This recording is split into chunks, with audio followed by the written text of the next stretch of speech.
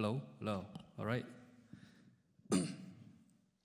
I think this would be the first time that we're going to have uh, a worship service in English. And um, I still remember it was, I think, years ago, I met a wonderful woman at Alternative. We talk about the ministry that God gave us. And we also share the ministry that we have. She has so much patience for the Christ she served. And I told her, if God had a plan, I really wish her to come to our church and share the Word of God. And that woman, that wonderful woman, is here. Pamela, could you please stand up? And let's give her a applause. And please come forward. And that dream, I believe, come true tonight. So thank you so much. And um, I am, I speak English as a third language or the fourth. I'm not sure, so I'm still struggling. But I hope I can be your interpreter. But I don't know if you guys need interpretation. No, totally not. So, boy, how are we gonna do it? How many of you do not understand English? No one. I believe 100%.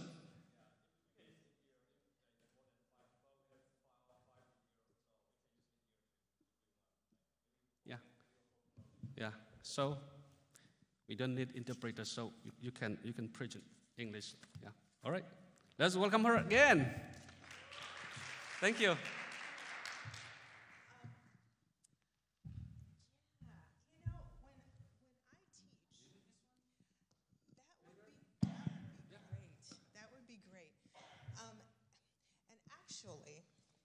When I teach, I use my hands a lot and I walk a lot. So, um, are you recording this or something? Is there a reason I need the mic?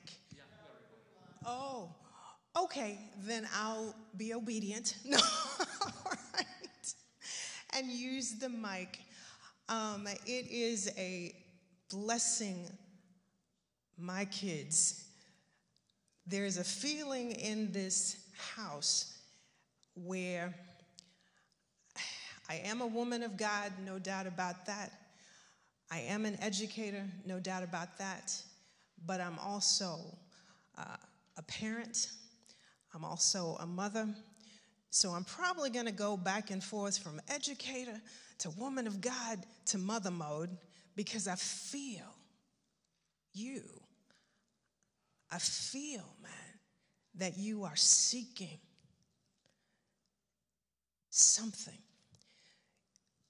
I pray that it is a desire to truly know who you are in Christ. That's why I want to start with what is it we believe? Who do you say he is? As you kids are deciding what it is, and that is a term of endearment when I call you kids, that is it. I tell my college students that, I tell the parents that I teach that. It is, so don't get offended by that. That is love. When you kids while you are deciding what it is you believe about the things that we, as your overseers, we, as your covering, tell you, one of the most important things, again, is for you to decide for yourself who you say the Christ is. That is key to our walk as believers, that is key to Christian culture so we're going to talk about that tonight too, culture. What, and this is interactive, tell me this what does the word culture mean to you? Way of life? Anything else? Traditions? Very good. Anything else? That's it. it. in, in the dictionary, it actually says that culture is, it is a way of life. It is made up of traditions. It is made up of, of belief systems. It is made up of art. It is made up of language. Okay. Ah, and speaking of that, Minglaba. Boom. A. Okay, that's it. Uh, that's it. But um, when we talk about culture, it is just that a way of life. Tell me something that sets Burmese culture. What, what identifies that? What defines Burmese culture? What do you think? Oh, community. Very good. What else? Family ties. Family ties. Okay, good. Yes, food. okay. Okay. Um, so that is what you think of uh, for your culture. What we're going to talk about is what folks should think about when we are talking about Christian culture. Okay? There are many ways ra- racial culture, um, ethnic culture, but what I feel is that our Christ, our culture of Christ, transcends that. And it actually connects all of us, whether we speak the same language, whether we look the same or look different. It's the blood of Christ that covers us, and our belief in Him connects us. And I feel that in this house, which is why I'm excited to be here. So let's talk about that. Um, as I was studying, I actually did this presentation with about uh, 250, 300 young people who were coming through um, and studying about, learning about different cultures. So they asked if I would come, and somehow uh, it was held at a church, but they were talking about lots of different things, and they asked if I would um, talk about somehow culture. So I researched what Christian culture actually is. And what I found were there were four, four principles really that our Christian culture are built upon. So we're going to talk about those tonight so that as you are deciding what it is you believe, if you haven't decided already, you are clear on what it means to be a follower of Christ. Is that okay? Is that cool? Yes. Oh, yes. Thank you. Freedom. Oh, yes.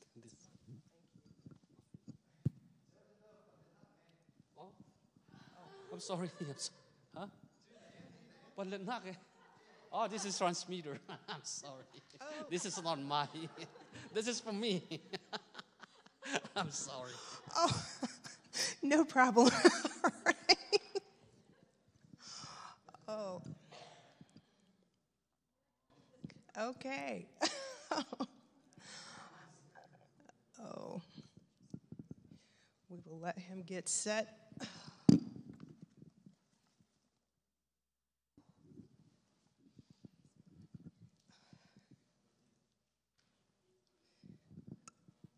Okay. Are we ready? Ready? Okay. All right. So, oh, before we go there, may we have, may we play the film? I think that the first thing that we need to determine as followers of Christ is whether or not we believe Jesus was real. Now, I am an analytical thinker, I'm also a critical thinker. So it I like researching things. I like I like um, evidence when it comes to faith and belief systems that kind of goes against what faith actually is. We don't need evidence for faith. If we had evidence, then we wouldn't need faith. But the cool thing is that this film is going to provide some evidence, some proof on the existence of Christ. So we are ready. There are many myths about Jesus. In these programs, we're talking to some experts who can help us get at the facts behind the myths. The first myth we are exploring is the claim that Jesus never even existed. So, what evidence is there for him apart from the accounts in the Bible? The idea that Jesus didn't exist at all is uh, an exercise in excessive historical skepticism that pays no attention to history whatsoever. Uh, there's um, a challenge which has gone out on the um, uh, in- internet uh, by uh, someone called John Dickson, who said he would eat a page of his Bible if uh, someone could find a uh, tenured uh, faculty member of uh, a ancient history department who did not believe that Jesus Christ existed. Uh, it, and so far, he hasn't had to uh, do that. Um, we have terrific evidence not only for the existence of Jesus in, in, a, in a whole array of Christian materials, but we also have evidence for him in materials not written by Christians by the Jewish historian Josephus, for example, who has a text in Antiquities, Book 18, 63 and 64, that describes Jesus as someone who did unusual work, someone who was crucified under Pontius Pilate, along with the uh, instigation of Jewish leaders, and someone who formed a movement that became known as, as Christians. The very reputable Roman historian Tacitus refers to Jesus being crucified under Pontius Pilate. So that's a central aspect of Christian faith that is confirmed by this Roman historian who's actually quite hostile to Christianity. There are uh, approximately a dozen references in the oldest Jewish and Greek and Roman sources that uh, are not uh, by any means Christian testimonies. And if one puts together a, a composite picture of what we can learn from those sources, uh, not only do we know that there was a, a man, a Jewish teacher, uh, early in the first century in Israel by the name of Jesus. Uh, we know that uh, he had uh, a brother named James. We know that his ministry intersected with another man by the name of John, who was famous for calling Jews to baptism. We know that as an adult, he gathered uh, disciples. Uh, five of them are named. Uh, we know that uh, the rumors circulated that he was born out of wedlock, um, that he ran afoul of various Jewish authorities because of what they thought was uh, heretical teaching, that he was ultimately um, arrested and uh, crucified under the Roman governor, Pontius Pilate. That comes from uh, Tacitus in the early second century, so that we can even narrow the date of his death without once consulting Christian sources uh, to Pontius Pilate's time as governor in Judea between 26 and 36 uh, AD. Uh, we know that uh, uh, the reports circulated that people claimed uh, to have seen him alive again and as a result continued to believe in him as Messiah, and even we are told uh, by Pliny to uh, sing hymns to him, worshiping him as if he were a god. And also, without Jesus existing, you can't really explain the origins of Christianity, uh, the teaching attributed to Jesus, and so on. It, it would just be a historical non starter. On top of that, we can trace uh, the unbroken existence of the Christian church, of the community of his followers from the, the very first uh, decade after his death, probably in AD 30, some would say 33. And so uh, the uh, uh, claim that we can't know Jesus existed is, uh, is simply absurd. Uh, people who, who would make that charge are very poorly informed. What I'd always ask with people is to be consistent. So if they want to say we can't know that Jesus was a historical figure, they're also going to have to say we can't know all sorts of other things. So a lot of the time people want to have a harsher rule of evidence when it comes to things about Jesus than they do about other areas. The claim that Jesus never existed is a myth. The fact is that he was a real person in history, and there's plenty of evidence for his life apart from the Bible. Evidence that confirms the main events of his life as the Bible describes them. But one reason people don't believe the Bible's accounts of Jesus is because of all the miracles in them. He walks on water, he raises the dead, and so on. Next time, we'll explore whether the miracle stories make the Bible's accounts unbelievable.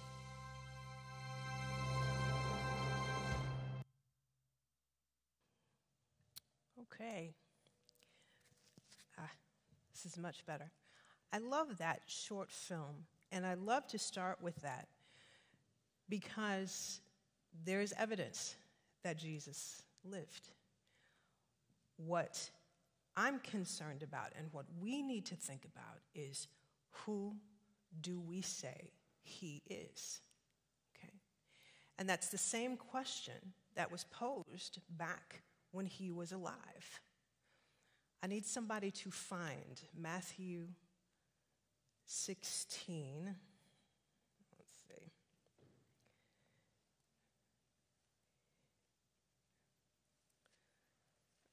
Yeah.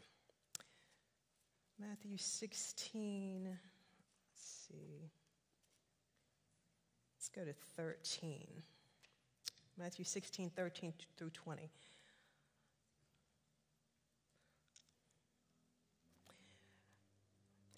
It says, and I'm reading from the New King James Version when Jesus came into the region of Caesarea Philippi, he asked his disciples, saying, Who do men say that I, the Son of Man, am? So they said, Some say John the Baptist, some say Elijah, others Jeremiah, or one of the prophets. He said to them, But who do you say I am? Simon Peter answered and said, You are the Christ, the Son of the living God. Jesus answered and said to him, Blessed are you, Simon Bar-Jonah, for flesh and blood has not revealed this to you, but my Father who is in heaven. And I will say to you that you are Peter, and on this rock I will build my church, and the gates of Hades shall not prevail against it and I will give you the keys of the kingdom of heaven, and whatever you bind on earth will be bound in heaven, and whatever you loose on earth will be loosed in heaven. I love that. Who do you say that I am? Okay. When we are walking out this earthly existence. Just like in Jesus' time, there is multiplicity of belief systems. Okay. There are things that can pull you away from the true culture of Christ. There are things that can muddy what we know Christianity to be. So, we are going to talk about those four foundational principles that set our culture of Christ apart. The first thing is we know that we are sinners. Okay. We know that we have separated ourselves from God. Let's go back to what a sin is. What does what is sin? Anybody? And I love this because I was I was an adult before I knew that sin wasn't a behavior, okay? Sin is a state of mind. Sin is when you think you know better than God, when you become the one that drives your decisions, your behaviors, when there is a refusal, a refusal to submit to the will and the word of God, it's a mindset more than a behavior.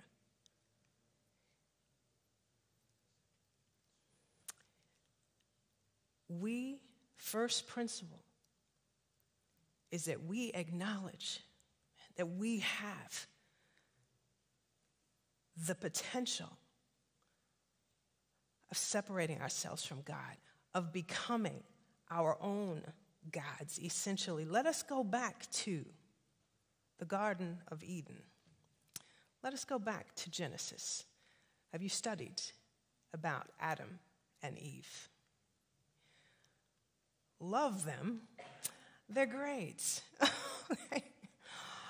First, man, woman, but they show us everything that we as human beings can still do today that can separate us from God.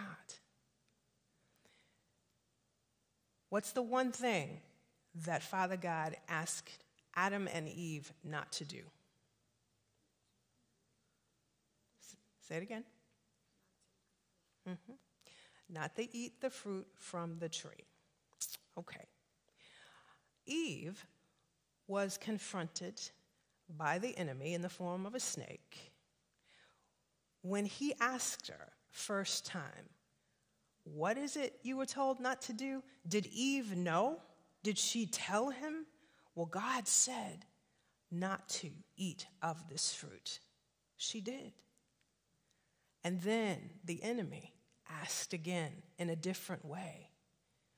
And rather than repeat what she knew that God had already said, she started thinking, okay, well, you know, I think that's what he said, but I, I'm, it would be kind of cool to be wise, wouldn't it? It'd be kind of great. You know, it looks good, so it probably is good. All right, maybe, maybe it wouldn't hurt if I did. Okay, that's what we do, all right, as human beings. If there's something that jumps off, okay, we know what we're not supposed to do, all right? We know that there are boundaries that are established. However, we start to think, ah, it might be okay. It might not be that big of a deal. All right, and then we step into it. And then we have Adam, whom I love as well, who was to be in the position of covering, yet he was influenced. And rather than take his place and say, oh, Baby, please, uh, I wish you hadn't done that. okay, I wish you had not eaten of that fruit, but I got you. I'm going to stand and cover you and say, Father, I'm sorry. Okay, yes, she did, but um, please, you know, I'll take it. I'll, I'll take the hit. Is that what he did? Uh, no. He was like, okay, I'll, I'll, I'll try it too. All right. We all have the potential of being influenced or just forgetting or rationalizing our behaviors. That right there is what it means to be moved by the flesh, to be born out of sin, to have that potential to stop submitting to what God has said and to do what we want to do. First principle, we got to admit that. We got to admit we are sinners. Second principle Jewish tradition um, before Christ, the Jewish church, they had put in place a process where if sins did occur, you had to bring a sacrifice to atone for that sin. Okay? That's a part of Jewish religion, which is what Christianity is born out of. So, I actually researched this and actually talked to um, a member of a messianic synagogue because I wanted to understand that whole process. I was told that there are three reasons for um, sacrifice. The first one is just that, you know, atonement. You are saying you are sorry for something that you have done. Okay. The second is it's a replacement for you. Instead of you bearing the brunt of the punishment, the sacrifice bears the punishment for you. Okay? The third is so that you will be drawn nearer to God. Okay? Does it sound familiar? Does it sound like maybe what the Christ did for us? He took our place. He bore the brunt of the punishment that we were supposed to have thrust upon us because we had moved so far away from God that there was nothing that man could bring to God to, to cover the sin, to cover the rebellion, to cover the moving away from Him. So, Father God loved us so much that He gave His Son to pay that price for us. Through our belief in Him, we draw closer to God as we are reconciled with Him? Is this making sense where this Christ comes from?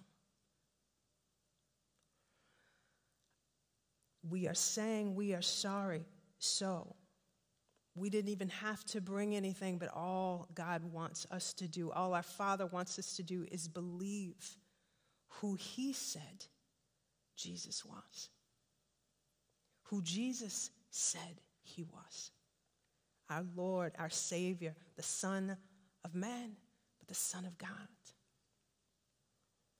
Okay. So, number three principle. I think I probably already said that. We have to confess that. We have to say it. All right?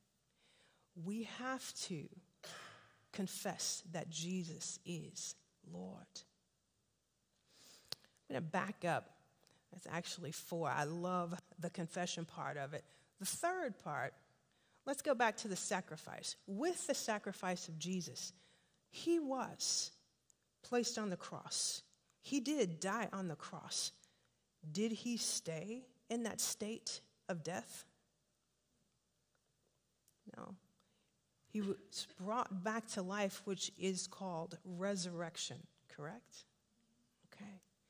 So actually, confession is not the third principle, the resurrection is the third principle. Okay? First principle, what did I say that was? I know I see you taking notes. That's what I love. What's the first principle? What's the second? And that Jesus was our sacrifice. Third is that Jesus was resurrected from death. That sets us apart. Our belief that yes, he paid the price, but he is not still buried. We believe that he was brought back to life and that through his resurrection, and number four, through our confession of our faith in that, that we are saved. That the Holy Spirit that we now have access to because he was brought back to life, the Holy Spirit that was breathed into those followers in the upper room, that same Holy Spirit now indwells each one of us who confess Jesus is Lord. That is Christian culture. So I value, I value diversity. I think it's great. I, I, I love that. But when I need to know that I know that I know what someone believes, especially when they are professing and confessing to be a follower of the Christ, I look for those foundational things. And I ask you to look inside your hearts, see if you believe this. It's your choice, not mine, not your parents. You know, as much as parents hate when I say that, but they know it. You kids are getting, seriously, you kids are getting to that age where you have to decide for yourselves what you believe. It was difficult. My children are now 21 and 26, 21 year old son, 26 year old daughter. Walking them through that process, man, it's hard to back up.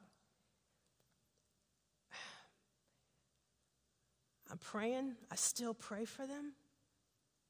And I love who they are becoming because they have decided what they believe for themselves. And they're walking it out. And now, it's between them and God. I'm on the sidelines, that's for sure, doing my prayer thing. you better know that. And every now and then, if I see something crazy jumping off, you better know mama's going to say something too. but it's going to be done in a way where I'm coaching, where I'm teaching, and done in a way where, man, I'm not talking about something that I'm not walking. So I encourage all overseers to be walking this thing too, because our kids are watching what we're doing. All right, is this making sense to you, kids? Yeah, cool. All right.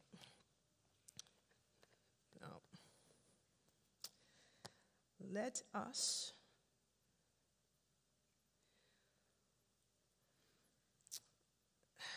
let us go to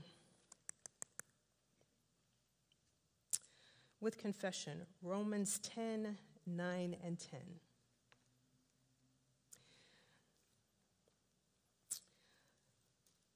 says, If you confess that Jesus is Lord and believe that God raised him from death, you will be saved. For it is, it is by our faith that we are put right with God. It is by our confession that we are saved. If we believe these things, then we are justified. We are made right with God. We are made righteous because of the price that Jesus Christ paid. Not because we're acting like good people, not because we're working really hard. Works are important too. Faith without works is not good. But faith is the key.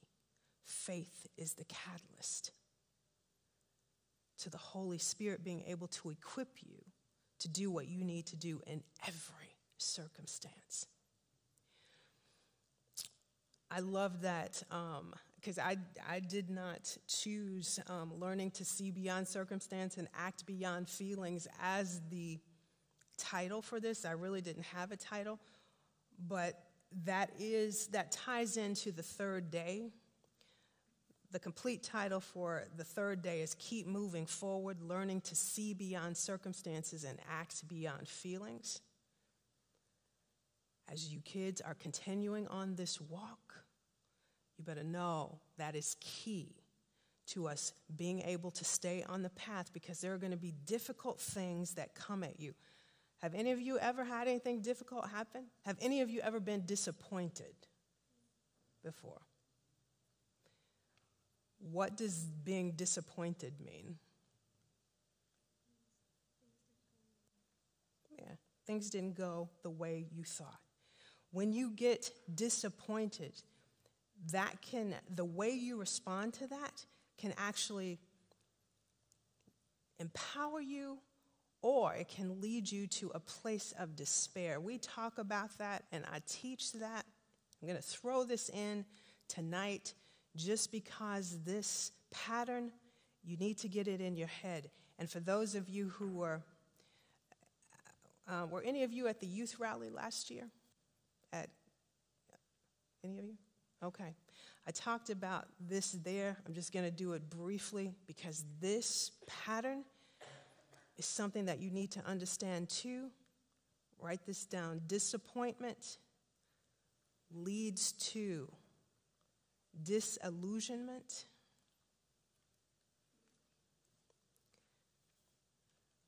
Leads to discouragement. Leads to despair.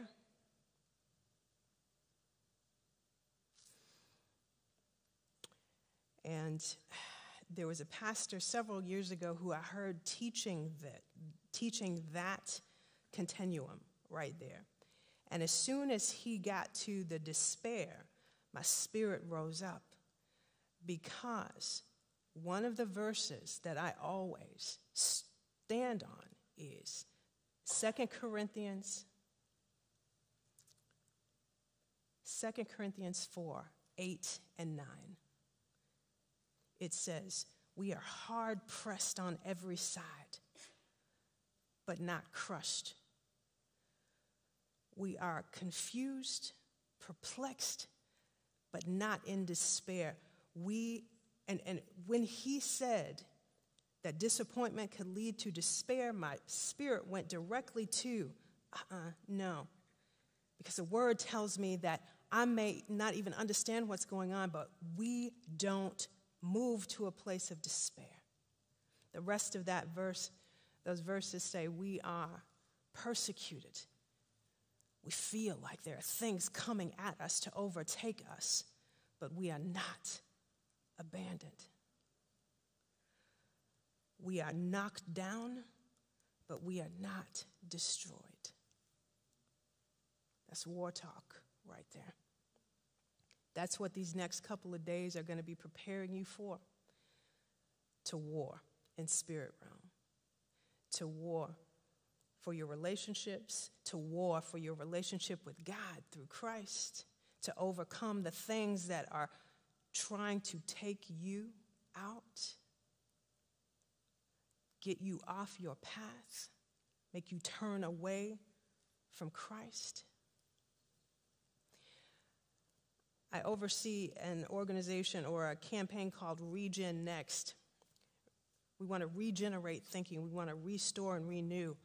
So, as I was studying this and as I was listening to that pastor teach, my spirit was rising up, and I knew that there was something to counter it. So, my, my thoughts were regenerated, and I looked at that continuum, and the Holy Spirit said, Yeah, disappointment's going to come. So get ready for that.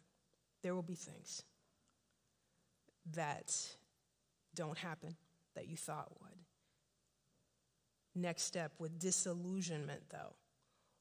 What is the root word of disillusionment? What is the word in the middle of disillusionment? Illusion. What is an illusion? Is an illusion something real or not? It's not real. So becoming disillusioned Actually, the Holy Spirit was like, that's a good thing. Okay. Because now you know. You were disappointed because it didn't work out, but now you know truth. So you know how you need to respond. The illusion is gone, even the illusion about other people, or sometimes the illusion about yourself. That make sense? So disappointment can lead to disillusionment. That's cool because now you see the reality of it. Next step can lead to discouragement. What is the root word of discouragement? Courage. Have you ever felt discouraged? You don't want to keep going. Rather than, and I've had people tell me this, you know, you just need to relax, you need to rest. That's great. I'm like, yeah, definitely take a nap Uh, Get, get some sleep. But the root word of discouragement is courage. You're going to have to tap in to courage in order to keep pushing past what has disappointed you, in order to take a look at the truth of the situation. You have to have courage to do that. The word tells me, what is that? We were not given a spirit of fear, but of love, power, and a sound mind. So we have what it takes to tap into the courage to keep moving. Okay. And then with despair, you know, you already had my verse for that. Here's what the Father said to, or the Holy Spirit. He was like, the next stage that people deal with with despair because there's no hope. Have you guys, um, do you know that there's a, an epidemic now pretty much of depression among young people? Do you guys know that? When someone is in despair and they have no hope, it can pull them in that place of depression. So I teach this to young people too, because our Christ can help counter what is coming at us to pull us into that place of depression, to pull us into that place of despair. I'm a mental health advocate too, so by all means, get some help, but do not think that there's not a spiritual issue that needs to be addressed too. Okay. All right. All right. So I had them print off. Um, yes. Beautiful. Is that translated into? Oh, awesome. I'm going to go get a copy I can read. Hold on. Let me see.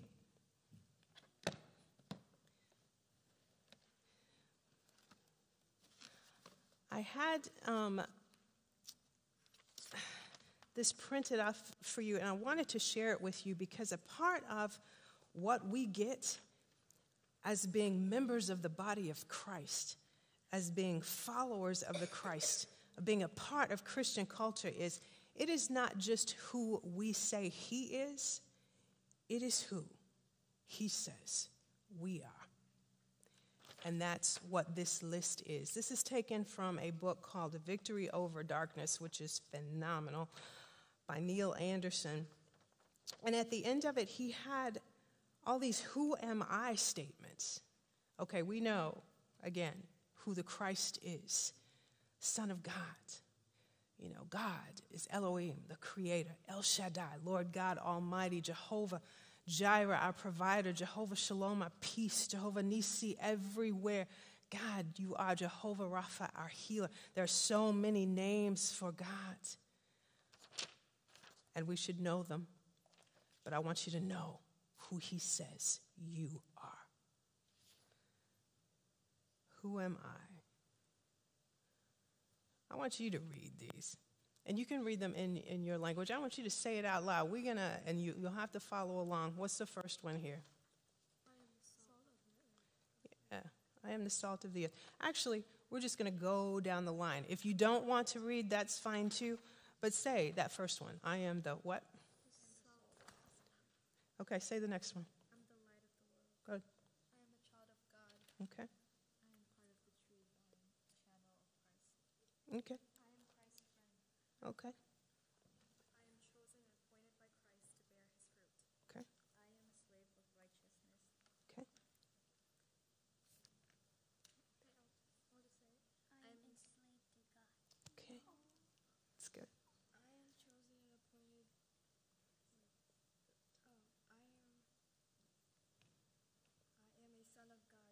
God is spiritually my father. Okay. I am a joint heir with Christ, sharing his inheritance with him. Good.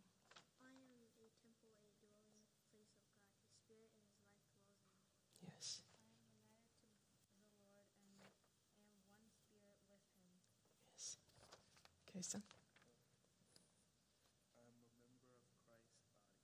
Okay. I am a new creation. Okay. I am reconciled to God and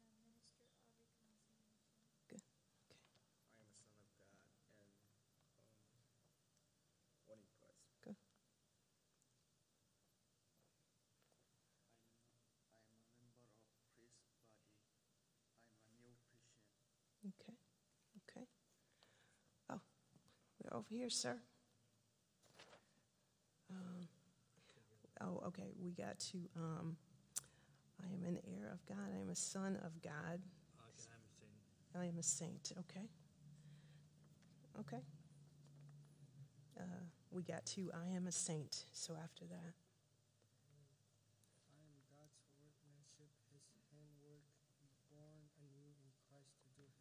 I am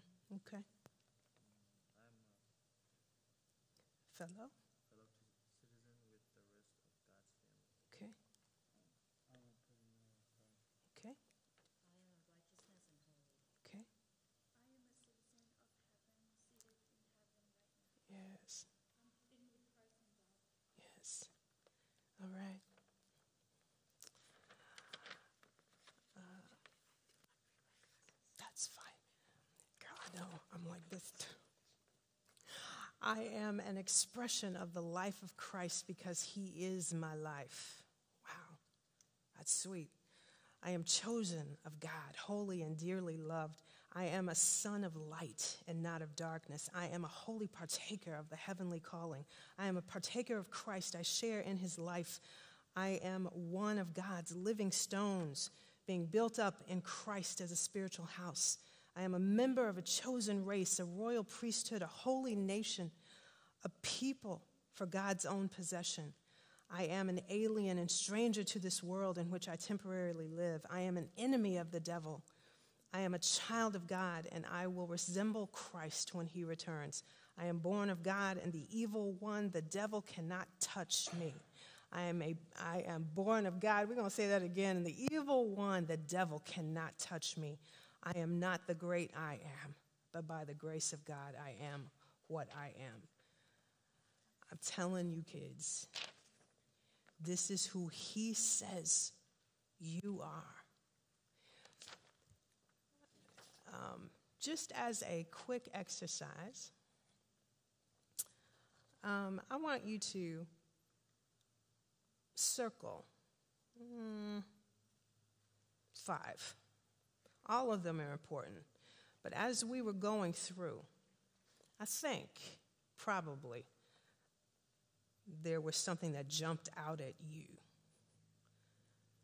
that maybe you are in need of saying that to yourself. I want you to circle those.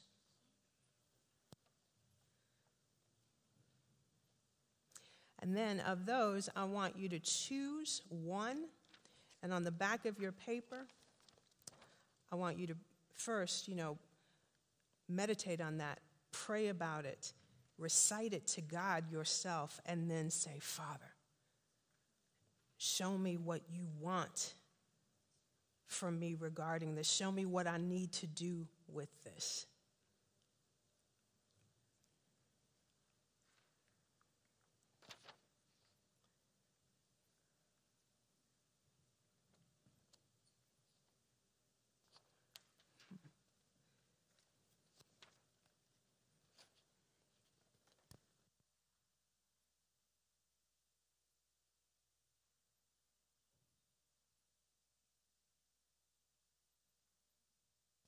And as a part of what you're writing, thank Him. Thank Him for filling you up. Thank Him for giving you this word and the knowledge of who you are in Him and the ability to walk it out, the ability to receive.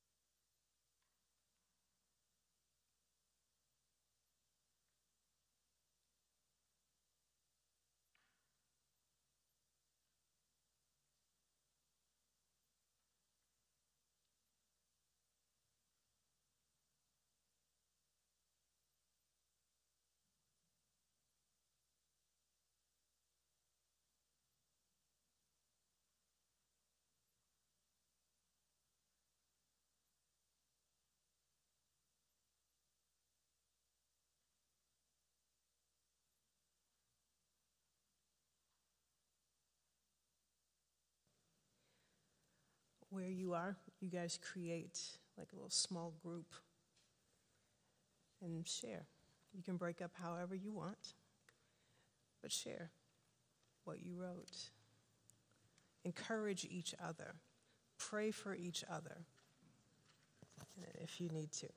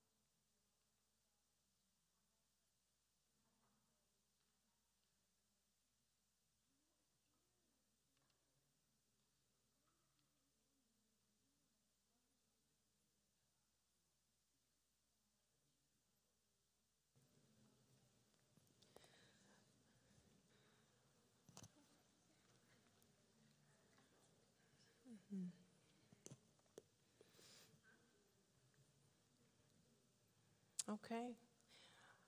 Um, I love this part where you're actually engaging with each other. Did you get anything out of this? Um, gentlemen, did you get anything out of this? No?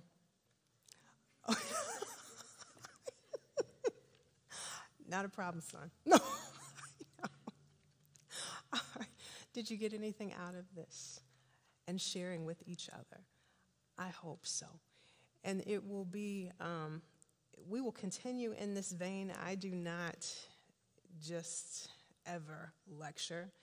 Um, there always has to be engagement, I think. I, number one, don't really want to hear myself talk that much.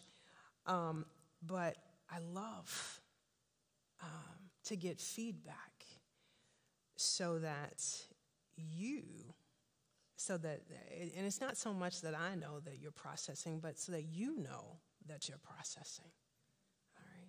And you're open to the leading of, of the Holy Spirit. This is, this is good stuff, kids. I mean, it's, it's foundational stuff, but the things that we will be talking about over the next couple of days, um, these are things that I want you to hold on to, and they can help you as you grow um, as followers of Christ. Um, are there any questions do you guys have? Anything you want to ask? Okay. Um, tomorrow we are going to talk about love languages. Have you heard of those before? No? Okay. Um, there is a, um, he's a writer at this point, but he was also an anthropologist and he's a family counselor. His name is Dr. Gary Chapman. And he wrote a book back in the 90s called The Five Love Languages because he noticed that marriages were falling apart. And he theorized or he hypothesized that, okay, there, there's something that we're not doing. He hypothesized that there were ways that we give and receive love. Um, and he chose uh, five ways um, based upon the counseling that he had done with families. So that's what we're going to talk about tomorrow are the five ways that we give and receive love. But we're going to take it a little deeper. We're going to do an assessment so that you can determine what your love language or languages are. But then we're going to take a look at um, how we can use that to relate to God, okay, and take our relationship with Him a little deeper. All right? All right. Um, with that, may I pray for you? Uh, I know y'all getting out a little early. Uh, is there a song you want to sing? I was I, I was asked back there. Do you guys want to do a little bit more praise and worship or anything? Or are y'all good? Pastor, you good? Okay. All right. All right. I am just going to pray then. Um, Father God, uh, we just come before you first and foremost, just giving you honor. You are the most high God, creator of heaven and earth, and your Son, Jesus Christ, is Lord. There is no name that is above his name, and we thank you so much for loving us first and best. Jesus, we thank you for your obedience and for being the perfect example of what it means to bend our will to the will of the Father. We thank you for the Holy Spirit who now indwells us and equips us, empowers us, brings to our recollection whatever we need, Father. We thank you. We love you. I pray for each person, each family that is represented here today. I pray that their faces will be turned towards you, God. I pray that hearts will be healed if necessary. I pray that spirits will continue to grow and mature, that each one will choose to follow you through your Son, Jesus Christ. I thank you for this time. You have opened my eyes, Father. I thank you for this beautiful family of God that I see we are called to be. I thank you for connection, for shared vision I pray for equipping. I pray for resources. I pray for opportunity, whatever this house of God needs. I pray that you will provide out of your riches, God, out of your abundance. Continue to protect and strengthen the man of God of this house and his wife.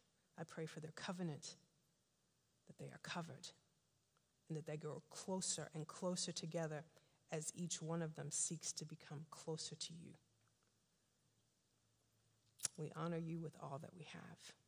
We ask that you forgive anything that we may have done that has offended you. We thank you for your grace and for your mercy. In Jesus' name, amen. Ah, hey, okay.